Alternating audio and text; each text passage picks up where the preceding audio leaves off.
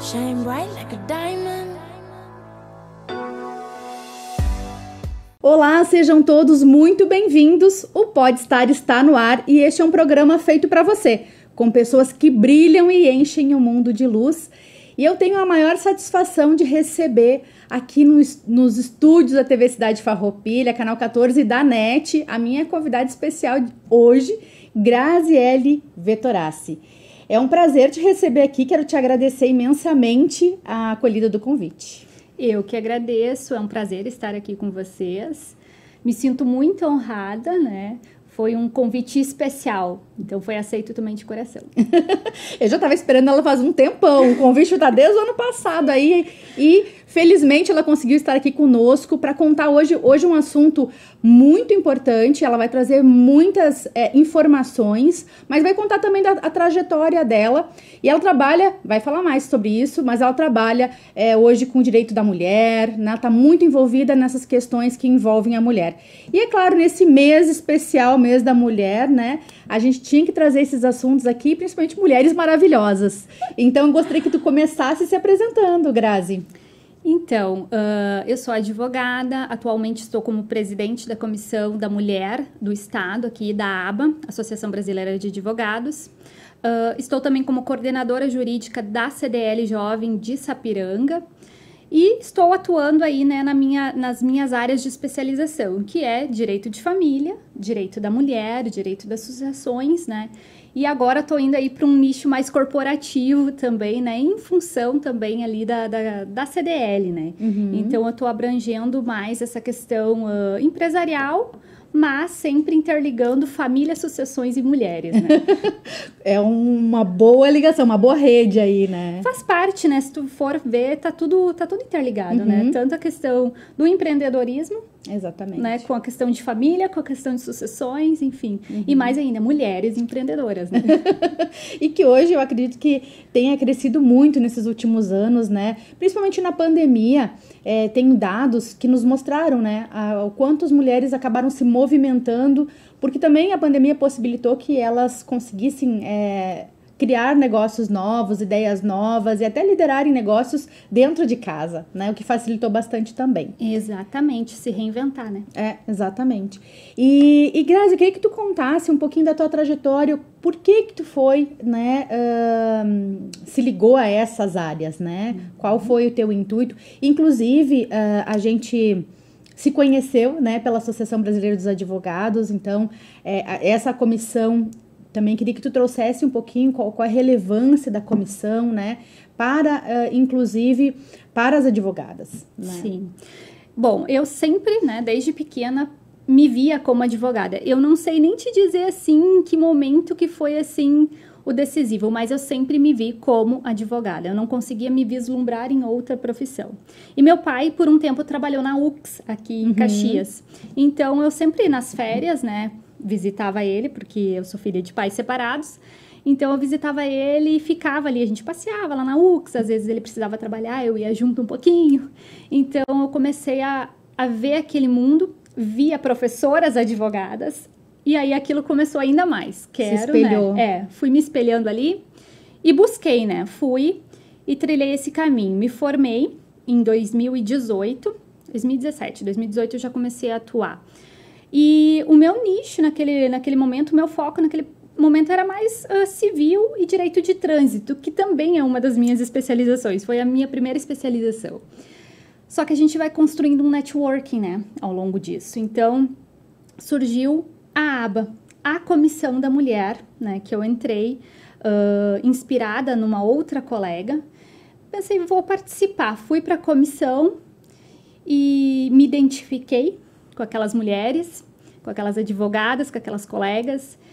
E a coisa foi acontecendo, daí aos poucos, né, de membro, né, eu fui convidada para fazer parte da diretoria ali da comissão, para ser vice, e infelizmente não foi numa condição esperada e que eu queria que eu passei a ser presidente, porque a presidente na época acabou falecendo, né? Uhum. Então eu acabei assumindo ali o, cargo. Não foi num momento né, agradável, Sim. esperado, mas aconteceu. E, e tô aí até hoje, né? Agora é E abraçou um desafio na época, né? Começou praticamente do zero. do dentro zero. Da, da É. comissão, porque teve esse, esse- essa lacuna, né? Entre é, a ausência dela, né? Como, como digamos, líder da Sim. comissão e, e aí a tua atuação, né? É, eu fui muito nova ainda, digamos assim, em termos de comissão, porque quando a gente assumiu ali a vice-presidência, eu, eu era membro, então eu não tinha ainda participado, né, internamente da diretoria. E eu fazia um mês e meio que a gente estava assumindo. Ela já estava mais tempo, né, era a doutora Líbia. E ela estava mais tempo, então ela já tinha os caminhos, já sabia, né, a liderança. Sim. Então, quando eu assumi, eu, eu tinha um mês e meio ali só. Então, foi muito rápido que as coisas aconteceram e foi muito rápido que eu precisei me movimentar, né? E consegui, estou conseguindo. A comissão hoje está mais enxuta, é, ela está com Mas menos mais consolidada mais também. consolidada, exatamente. A gente nunca parou a comissão, Uhum. né? Ela segue. Ah, agora até eu renovo, né? O meu mandato agora em março, finalzinho de março, eu renovo. A princípio eu fico, né? A convite do Dr. Tiago. Então eu permaneço na à frente da comissão. E a comissão é, é justamente isso, o acolhimento, né? Ah, buscar ah, desenvolver projetos com essas mulheres, não só no âmbito do direito, né? Mas pensar mais além, pensar numa maternidade, pensar no lado psicológico, pensar no lado empreendedor da mulher, é o conjunto, não é só o jurídico. Então a gente abraça muito isso, impulsionar essas mulheres, impulsionar o público feminino para buscar não só os seus direitos, mas também o seu eu, né? A valorização do seu eu como mulher, como mãe, né? Que também é um processo, né, de, de autodescoberta, né? E até mesmo como autônoma, se reinventar, saber se posicionar, né?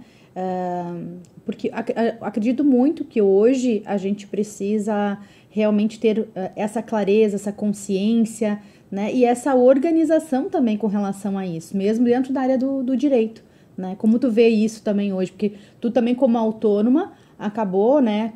Ah, tendo a tua jornada profissional e também teve que pensar nisso, né? É, exato. E é a troca, né? Porque aí, quando a gente está assim no meio com outras mulheres, com outros empreendedores, né? No, no contexto geral, a gente consegue expandir, ver novas possibilidades. E como autônomo, mais ainda, né?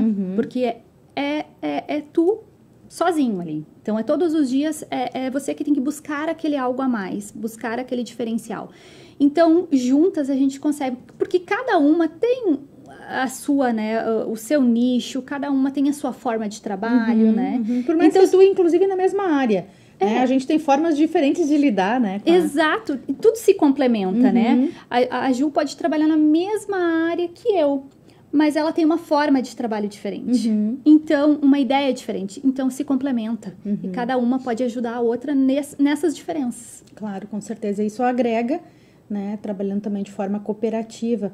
Porque o que, quais foram os principais desafios que tu, que tu enfrentou nessa tua, no teu início da tua jornada profissional como, como advogada? É, o principal desafio é o solo, né? Advocacia solo. Não só a advocacia, acredito que em qualquer outra profissão, mas o solo. Porque eu trabalhei durante muitos anos para uma cooperativa, inclusive, né? É, eu fazia, eu comecei como atendente e depois eu fui passando, né? Fui subindo setores e tal e permaneci com eles até o final da minha graduação e permaneço ainda com eles, né? Mas agora de forma autônoma. E então, nessa jornada de ah, buscar é, é, é, é, essa es- escalar minha profissão, eu enfrentei muitos desafios de estar sozinha, de não ter para quem perguntar, de não ter para quem olhar e dizer, meu Deus, o que, que eu faço agora, né? Sim. E eu não pude estagiar. Então eu comecei do zero mesmo sozinha. Fui lá, abri a minha salinha com, claro, né, com apoio, né, de muitos ao meu redor, inclusive familiares. E, e comecei a ir no boca a boca, no networking, procurar informação, ligar, né, para seja para um fórum, perguntar como é que eu faço isso e ser humilde de dizer, eu estou no meu início de carreira, eu preciso de ajuda. né? Então pode me dar essa informação. Então esse e claro, né, o desafio dos nãos, porque muitas vezes a gente recebe o não, inclusive um não de uma informação. Uhum. Então tem, todas as profissões têm isso, né? É, até mesmo a própria jornada empreendedora, ela é muito similar, né? Nesse sentido, a gente, ah, dentro da trajetória, a gente muitas vezes se sente sozinhas, né? A gente não tem muito essa rede de apoio, né? Ou até mesmo ah, outros profissionais dispostos a cooperar ou colaborar né, com o nosso próprio negócio. Exato, é muito aquela visão ainda de competição, e não é isso. É, Tem para todos, né? Exatamente. É como a gente estava falando. Porque por mais que a gente atue nas mesmas áreas, a nossa forma de conduzir né, um, um processo ou até mesmo atender um cliente, isso já é um diferencial, né? Exato, cada um tem a forma e o cliente se identifica com a pessoa, não é com o profissional, é com a pessoa. É a Exatamente. pessoa da Grazi. O meu lado profissional vai contar sim e muito, mas ela vai se identificar comigo primeiro para depois me contratar como profissional. Uhum. E hoje tu já tem já tá, já tá consolidada no mercado, né? Nessa parte é, da tua profissão, hoje tu tem escritório, né? E como tu falou, né? Começou nessa parte mais do direito do trânsito e hoje tá mais no direito da mulher. E aí, o que que te levou a trabalhar com o direito da mulher? O que te motivou a fazer isso? E quais os, os principais casos, assim, que tu, que tu atende hoje?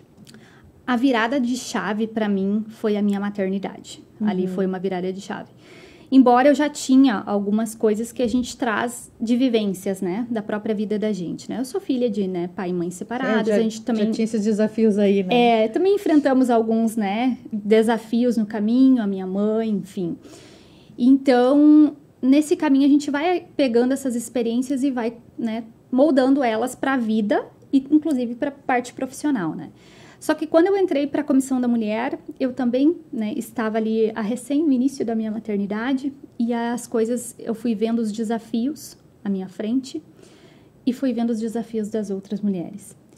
Então, tu começa a abraçar aquilo. Tu começa a olhar com, com um olhar diferente. A maternidade é uma virada de chave mesmo, assim, porque toda a concepção que eu tinha, seja jurídica ou seja de coisas pessoais que a eu tinha antes. muito, né? Nossa, aquilo pra mim foi assim, e foi ali que eu fui trilhando o caminho. Eu disse: não, é isso aí mesmo. Eu quero impulsionar essas mães, essas mulheres, né? Seja para aquelas que não querem ter filhos e tá tudo bem, e seja para aquelas que têm um filho e que precisam buscar se ver de novo, para além da maternidade, né? Então, foi, foi, foi assim que eu me identifiquei, foi assim que eu permaneci e abracei a causa, né? Uhum. Muito bom. E o que que tu acompanha, assim, de mais casos? O que que movimenta? O que que tu acredita que dentro do direito da mulher ainda precisa ser trabalhado? Violência doméstica. É, violência doméstica, até dá para botar assim em conjunto: violência doméstica e questões que envolvem alimentos e guarda de filhos. É recorde. Recorde. Não tem nem como eu te dizer números, porque é corriqueiro, é todos os dias. Se tu trazer alguém, né, se tiver um cliente que marcou para tratar questões de divórcio, pode ter certeza que ali vai ter muito mais coisas. É incrível. Então, assim, é um, é o maior, assim, número é violência doméstica e alimentos e guarda. Com certeza. Que é uma, é uma, é uma área bastante delicada, normalmente envolve, né, ah, outros, como filhos, né, e, e acredito muito que essas partes estejam sempre muito feridas, né, é um, é um processo doloroso, né, muitas vezes, e eu acho que o papel do advogado nesse ponto, ele é fundamental, né, para conduzir da melhor forma possível. Eu queria que tu trouxesse também esse olhar, né, o, do profissional. Sim. A gente até. A gente. Quando a gente vai fazer o atendimento jurídico, a gente acaba fazendo quase um atendimento psicológico junto, né? Ah, porque não tem como tu não ser humano naquele momento. Não tem como eu só falar da lei, só falar dos teus direitos, sem acolher aquela pessoa. Às vezes não é ah, um fato de violência doméstica, não envolve violência, mas envolve o, o fato da separação, Sim. do divórcio. Que é um em si. luto, não deixa de ser. Exatamente. E isso vale tanto para mulher quanto para homem, porque homem também já tive casos de homem que estava sofrendo muito com aquilo. Então, assim, ah, é o lado humano da coisa. Tu tem que humanizar aquele atendimento antes de tu pensar pro lado jurídico, pro lado do direito, sabe? Porque aquela pessoa que tá ali, ela às vezes ela não tá nem ali para falar às vezes, do direito dela em si. Ela só quer um acolhimento. Uhum, uhum. Ela Ser só- ouvida muitas vezes, né? Exato, exatamente. Muitas vezes não é acolhida pela família, né? Então ela procura um- em Um nós, né, uma palavra de calma para ela, que vai ficar tudo bem. Uhum, uhum. É bem importante esse direcionamento do profissional nesse sentido, né? E, e dentro desse ah, contexto ainda, né? O que que tu acredita que ainda precisa ser trabalhado com relação ao direito da mulher, né? A gente está nesse mês de março, a gente fala muito da é o mês da mulher, né? Eu acredito que isso é é importante, o movimento nem é o dia mais, né? A gente já, já, já abraçou o mês, né? A gente já se espraiou, né? E eu acho que é legal porque a gente traz aí ah, o movimento feminino, né? As questões da mulher em vários vieses diferentes, né? E eu acho que o direito, ele é importante também de ser trabalhado e também de ser discutido, né? Então, o que que tu acredita que precisa ser falado mais ou trazer mais orientação e educação para isso? Primeiro, a questão que envolve muito violência doméstica, que às vezes acaba a questão em, em feminicídio, né? Porque todos os dias, tu abriu o jornal, tu vai ver alguma notícia com relação a isso. E, e isso é muitas vezes porque elas silenciam por medo, porque falta política pública ainda que acolham de forma realmente eficaz aquela mulher vítima né, da violência. Então, falta ainda um, um acolhimento muito maior no âmbito jurídico, judicial, para poder abraçar todas essas vítimas, para que elas possam vir falar e que elas não sejam descriminalizadas no ato da fala mesmo para que em vez de vítimas elas sejam às vezes julgadas já quando elas vão trazer aquilo. Então a gente ainda e, e essa questão está muito ligada também a- ao profissional que vai atender, tá? Porque às, às vezes buscam, né, ah, delegacias, buscam, né, um paro ju- judicial e quem está lá às vezes não está preparado de fato Para esse atendimento. para esse né? atendimento, para esse acolhimento. Então, isso também dificulta muito.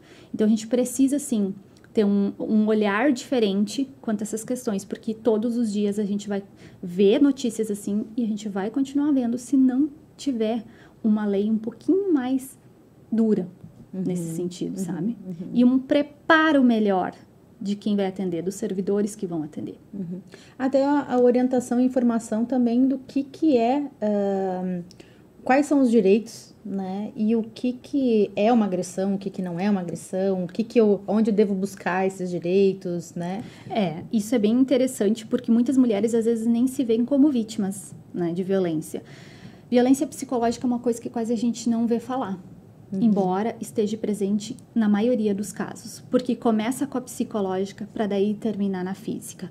Sempre assim, é um ciclo. A gente sempre diz que o ciclo começa na verbal, na psicológica, vai para patrimonial, às vezes a sexual, e termina, né, ah, na violência física, por falta de conhecimento realmente às vezes, ou muitas vezes também pelo agressor fazer com que ela acredite que a culpa é dela. Uhum, uhum. e ela se sente assim, porque ela não tem uma orientação, porque ela não tem Até ela não também não tá atenta a esses sinais, né? Que ela já recebeu esses sinais com certeza. Exatamente. Vai mudar, né? A, a gente sempre escuta as, é as mesmas histórias.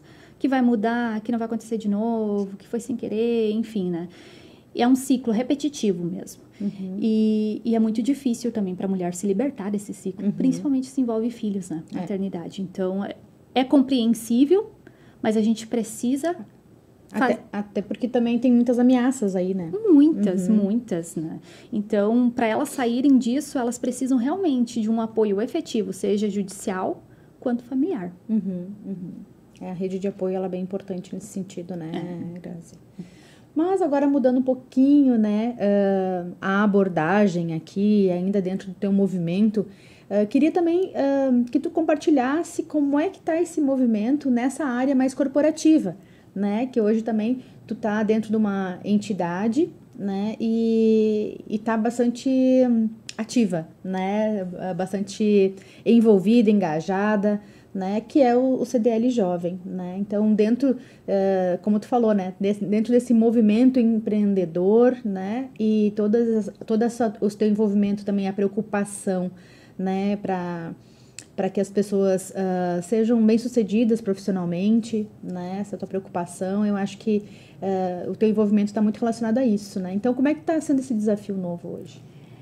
Eu vou te falar que é um desafio gostoso, né? Empreender, ele é né, tem os, os, desafios que às vezes a gente pensa, poxa, mas também é gostoso de tu né, estar envolvida no, no meio, porque são negócios diferentes às vezes, mas que se conectam, se, né, uh, na própria gestão, às vezes, de um negócio, né? Uhum. Porque o meu escritório jurídico, tá, ele é jurídico, mas a gestão dele não foge muito da gestão de um outro, né? uhum. né? Então, a conexão que isso gera, a conexão que isso traz, e fora a visão de futuro, né? Uhum. Porque tu consegue expandir isso. Uhum. Então, é bastante, é bacana a gente se reunir e poder levar isso para outros jovens também. Uhum, né? Tirar eles um pouco do, do comodismo, do conforto, impulsionar eles uhum. né? a buscar aquele algo a mais, a investir em si, investir nas suas carreiras, nos seus, nos seus sonhos, né? nos seus projetos. Né? Uhum, né? Então está sendo bem, bem bacana mesmo. E também dentro desse contexto, tu acaba tra trabalhando as áreas que tu já vem uh, desempenhando dentro, da, dentro do direito, né? Que é essa parte mais da mulher, né? Esse, esse voltar mais para essa para a mulher. Uh, também tem algum núcleo que tu tá envolvida ou tu traz essa fala ou não? Dentro da, da CDL Jovem, a gente incorpora tudo, né? uhum. né? A gente está fazendo, tem, na CDL de Sapiranga tem o núcleo das mulheres, mas é meio que tudo interligado, porque é consequência, né? Eu trago a voz do empreendedorismo feminino lá para dentro, né? na coordenação jurídica, mas o grupo todo uhum, interage assim. Uhum. Então é realmente para abraçar não só uh, a mulher, mas o homem no todo, o empreendedor em geral, sim, sabe? Sim. Uhum. Não, bem tranquilo. A gente nem tinha falado, né, Grazi, que tu é de Sapiranga. Sapiranga, exatamente. Veio hoje especialmente de lá para gravar o programa com a gente, né? Exato. E eu queria que tu trouxesse para o pessoal que está assistindo também alguns pontos que tu acha que sejam relevantes dentro da tua área de atuação como, como profissional, né, como advogada, é, tanto na parte do direito do trânsito, porque eu acho que hoje. Eu, eu teve um programa que eu fiz uh, com, com o doutor Guilherme Guzzo, que a gente falou sobre vida e comportamento, e a gente acabou trazendo vários exemplos de comportamento no trânsito. Uhum. e foi bem, foi bem interessante, porque lá é uma grande vitrine, né? Porque aonde tem a gente, uh, tem a, a gente a olhos vistos, a gente tem a expressão de e um repertório de comportamentos diferentes, né? Então, Sim. a questão da, da falta de intolerância, né? Falta de respeito, agressão, muitas vezes, né? Então, eu acabei trazendo, a gente acabou trazendo alguns exemplos, né? Voltados para isso. E aí, uh, é uma área também que tu, que tu atua, né?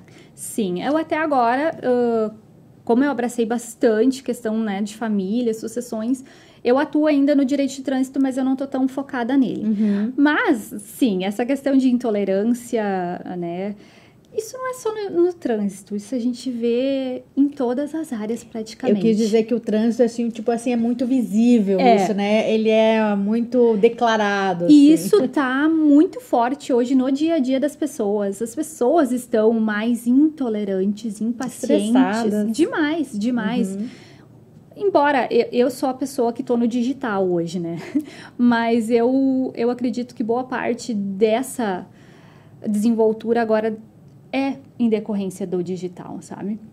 Então, as pessoas estão muito ali focadas naquilo ali, muito ligadas e esquecem, né? De conviver. Uhum. Que elas convivem com outras pessoas que têm problemas, que têm dores, que também não estão legais naquele dia, que podem estar tá passando por alguma situação, né? Então, você tem empatia, né? Uhum. Mas é no geral, não é só na área de trânsito, que é mais visível, mas a gente consegue ter essa percepção num todo, no dia a dia, uhum. muito mais do que antes, do que antigamente. Sim, sim. Não, e, e, a gente também tem muitos bons exemplos, né? Eu falo porque é, realmente fica bem explícito, né? Esses comportamentos dentro do no trânsito, né? Que a gente, eu digo trânsito porque a gente também tá toda hora se movimentando de alguma forma, né? Seja com o carro próprio ou até mesmo é, com, com outras possibilidades. Eu até acho engraçado que às vezes eu fico surpresa com o comportamento legal, bacana, atitude legal. O que, que deveria pessoa... ser normal. Que deveria ser normal, mas às vezes eu penso, nossa, sério que ele parou para mim atravessar, uhum. sabe? Umas coisas que deveria ser comum, né? Mas a gente acaba ficando surpreso com a atitude positiva. É, eu, e deveria ser bem o contrário, né? Sim. Então, Grazi, para a gente ir finalizando o nosso bate-papo hoje, eu gostaria que tu trouxesse, então, alguns pontos que tu destaca, que tu acredita que sejam relevantes dentro da tua, da tua atuação para o público que está nos assistindo, né? Pode ser aí no direito da mulher também. Direito da mulher, empreendedorismo, seja né, feminino ou né, uh, num todo. Uh, direito de família é não deixe, não espere, procure, use sua voz, seja a voz, né? Se, se, seja você que está passando por alguma situação, seja algum familiar, busque, busque orientação, busque informação, não fique esperando, sabe? Porque isso é uma grande causa também, não só uh, de incerteza legal, mas psicológica também. Isso causa dor, né? Então, busca informação, busca uh, procura um profissional, seja do direito, seja de qualquer outra área, busque estar conectado, busque estar uh, orientado, devidamente orientado, porque assim, orientação, conhecimento dá asas, te uhum, liberta. Uhum, uhum, exatamente. Muito bem, vamos para o bate-papo do, do Podstar? Vamos lá. Opa! vamos lá. Dá um pouquinho de medo, né? Assusta poucos convidados hum, aí. Sim. Não, é bem tranquilo. Qual é a tua maior inspiração na vida, Grazi? A maternidade. Se tu pudesse se teletransportar para qualquer lugar do mundo agora, onde seria? Meu Deus. Casa da minha mãe. Olha, se tu pudesse ter um poder, um superpoder, qual, qual seria? Voar. Ah, eu adoro esse superpoder. Sabe que eu acho que o pessoal nunca ainda não, ah, o pessoal ainda não escolheu aí o poder de ler a mente. Acho que até dá medo. É. Eu até cheguei a pensar não, mas eu acho melhor não. Eu, eu acho melhor não, né?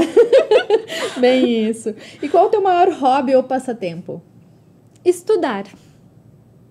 Muito bem. Qual o teu lugar favorito para relaxar e recarregar as energias? Minha casa. Essa aí eu acho que tá, tá, se tornando a resposta unânime, viu? Amo minha casa. O pessoal aqui entre, tá, tá bem dividido, assim, entre natureza e a sua própria casa.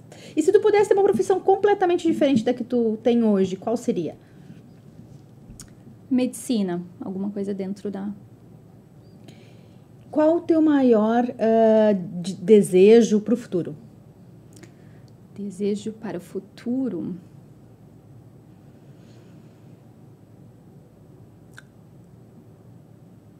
é no âmbito mais pessoal mesmo, assim, eu poder uh, poder dar para o meu filho um conhecimento a mais, o que eu não consegui. Uhum. Muito bem. E uma palavra para definir nosso encontro de hoje. Maravilhoso! Muito obrigada, também achei. Então, Grazi, agora para a gente fazer o fechamento, vou deixar uh, a palavra contigo, para te deixar uma mensagem para o público. Certo. Em especial, hoje eu vou deixar uma mensagem para as mulheres, né? Uh, dizer para elas que vocês podem, podem tudo o que vocês quiserem, podem ser e fazer tudo o que vocês quiserem. Então, não fiquem quietinhas, busquem, sejam voz, sejam luz, vão em frente e o que precisarem, né? Eu estou aqui, pode me chamar, pode contar comigo. Muito bem, obrigada pela tua mensagem, Grazi. Adorei a tua participação. Eu que agradeço. Acho que inspirou também muitas mulheres. E espero também que vocês tenham gostado. É, deixo aqui um beijo especial pra, no coração de todas vocês. Um parabéns aí pelo dia, ou não, nem é o dia, mas o mês da mulher, como a gente falou, né, anteriormente. Que vocês também é, comemorem, celebrem, mas também acabam que acabem uh, trabalhando e fortalecendo as suas redes de apoio, né? Como a Grazi mesmo falou, isso é muito importante. E a gente precisa desse, ter esse movimento, né? Que é um movimento interno. Então, um beijo no coração de todos que estão nos assistindo, né? Para nossa audiência querida. Beijo grande no coração de todos vocês e até o próximo Pode Estar. Shine bright like a diamond.